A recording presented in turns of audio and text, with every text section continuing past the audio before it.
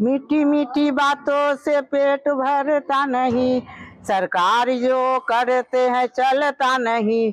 अब अब जो भी होगा, सब सोचिए सरकार जी। हमको तो अब माल मिलेगा नहीं।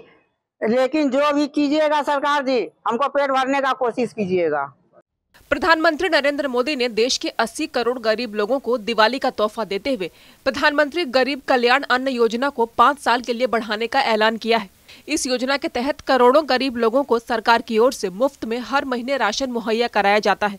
भागलपुर में राशन लेने के लिए पीडीएस दुकान पर पहुँचे लाभुकों ने पीएम मोदी के इस कदम की सराहना करते हुए पीएम को धन्यवाद तो दिया, लेकिन साथ ही नाराज़गी भी ज़ाहिर की।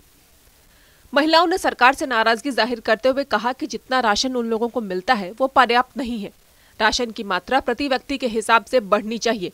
महीने में केवल एक किलो गेहूँ से कैसे गुजारा होगा? नमस्कार, टीवी नाइन बिहार झारखंड देख रहे हैं आप, मैं हूँ आपके साथ शिवम। प्रधानमंत्री नरेंद्र मोदी ने प्रधानमंत्री गरीब कल्याण अन्न योजना को पाँच साल के लिए और भी बढ़ा दिया है। मंच से घोषणा करते हुए मुफ़्त में राशन देने का ऐलान किया और पाँच साल बढ़ाने के बाद लाभुकों के अंदर जहाँ खुशी है तो वहीं लाभुक कुछ बातों से नाराज़ भी नज़र आ रहे हैं। हम अभी पीडीएस दुकान पे मौजूद हैं जहाँ पे राशन वितरण होता है। प्रधानमंत्री ने पाँच साल के लिए बढ़ा दिया है मुफ़्त में राशन। कैसे देखते हैं बढ़ा दिए हैं वो तो बहुत अच्छा किए हैं। हाँ। वो थैंक यू धन्यवाद देते हैं मोदी जी आपको। लेकिन एक आदमी पाँच किलो गेहूँ बढ़ाइए। एक आदमी पर पाँच किलो गेहूँ बढ़ाइए। हम लोग का पेट नहीं भरता है। बच्चा लोग गरीब का बच्चा है या अमीर का बच्चा है। सारा काजू किशमिश खा के वो निहाल होता है। हम लोग रोटी भात खाते हैं तो होता नहीं है। लेकिन एक आदमी पर पाँच किलो सब बढ़ाया जाए रिक्वेस्ट है आपसे। हाथ जोड़ के बोल रहे हैं आपको। बहुत गरीब आदमी है हम लोग यहाँ पर। लेकिन एक आदमी पर पाँच किलो सब बढ़ाया जाए। क्या अभी कितना मिलता है अभी एक किलो मिलता है उससे कुछ नहीं होता है। गाय लोग को एक रोटी दे देते हैं एक रोटी कौआ को देते हैं दो रोटी हम लोग खाते हैं हम लोग का पेट नहीं भरता एक आदमी को पाँच किलो दिया जाए। क्या मांगे? पाँच साल के लिए बढ़ा दिया राशन आप लोगों का। कैसे देखते हैं इसको? को हम लोग धन्यवाद देते हैं कि ठीक है बढ़ा दिए बहुत अच्छा है। और यही है रिक्वेस्ट कि एक आदमी पर जो एक किलो देते हैं किलो उससे पेट नहीं भरता है। उसके लिए जो है कुछ मोदी जी अपना ठीक करे जो कि हम लोग को पेट भरे कम से कम पाँच किलो एक आदमी पर भी दे तो। गेहूँ हाँ। बढ़ाया क्या क्या क्या बोल रहे हैं आप? बोलो।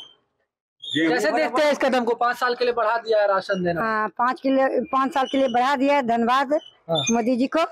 लेकिन अभी जो है हमको पाँच किलो गेहूँ बढ़ाया जाए हाँ। दस किलो चावल।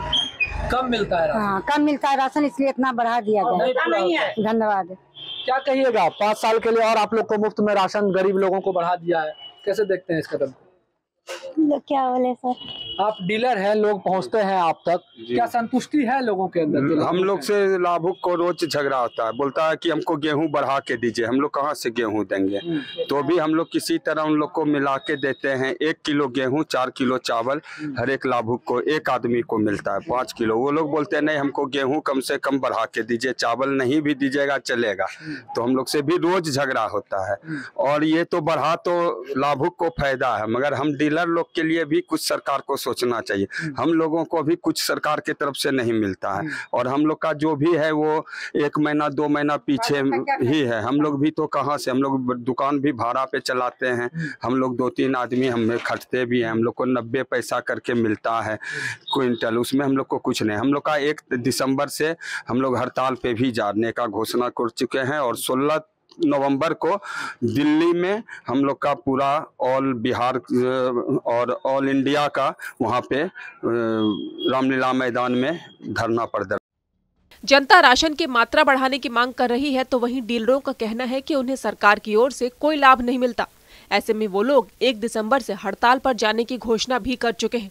अब सरकार इन मांगों पर कब और कितना ध्यान देती है, ये तो आने वाले दिनों में ही पता चल पाएगा।